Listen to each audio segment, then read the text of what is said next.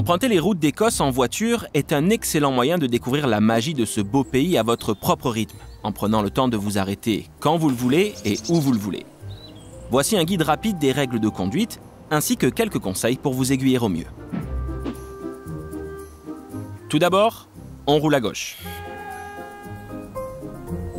Si vous venez avec votre propre véhicule, parfait, vous serez donc un peu plus libre, mais n'oubliez pas d'emmener les papiers de votre voiture, carte grise, assurance, et bien sûr de la bonne musique pour rendre votre itinéraire inoubliable. Ce qui n'est certes pas une obligation légale, mais qui devrait l'être. Tous les permis de conduire valides de l'Union européenne sont acceptés. Si vous venez d'ailleurs, vous pourrez quand même conduire en Écosse, mais pas plus d'un an. Pas un an non-stop, cela dit. Sauf si vous êtes une vraie machine. Les limites de vitesse sont généralement affichées et les panneaux sont toujours en miles par heure. Si vous ne voyez pas de panneau, partez du principe que sur les autoroutes et les voies rapides, la limite est de 70 miles par heure pour les voitures, les cars et les minibus, et 60 pour les caravanes et les camions. Il y a des caméras de contrôle de vitesse presque partout pour faire respecter le code de la route, donc soyez prudents. Dans les zones urbaines, la limite de vitesse est généralement de 30 miles par heure, parfois 20 près des écoles et en centre-ville. En dehors des agglomérations, c'est 60 pour les voitures et 50 pour les gros véhicules. En Écosse, vous ferez aussi des économies. Il n'y a pas de péage, ni sur les routes, ni sur les ponts. Les stations-service en zones urbaines sont ouvertes 24 heures sur 24. Elles sont en libre service et vendent de l'essence sans plomb et du diesel.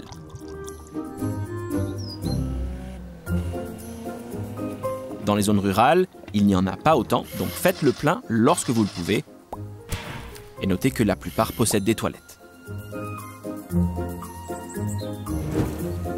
Nous avons des règles strictes en ce qui concerne la conduite sous l'influence de l'alcool et des drogues. Tolérance zéro.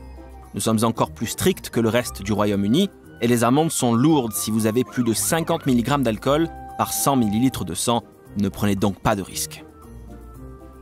Nous sommes aussi très à cheval sur la politesse en Écosse.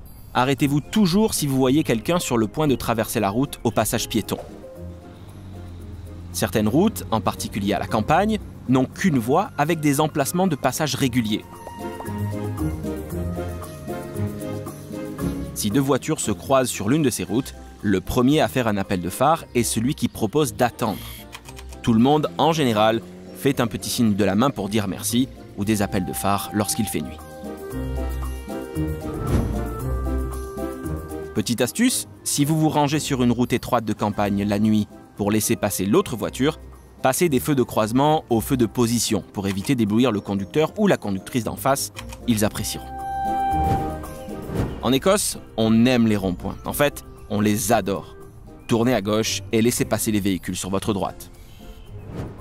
Tout le monde dans la voiture doit être attaché. Les enfants de moins de 12 ans doivent utiliser un siège enfant, à moins qu'ils ne mesurent au moins 1,35 m. Généralement, les compagnies de location de voitures en fournissent. Et bien qu'il soit tentant de raconter à tout le monde et en temps réel combien les paysages sont beaux, il est tout de même illégal d'avoir un téléphone à la main au volant.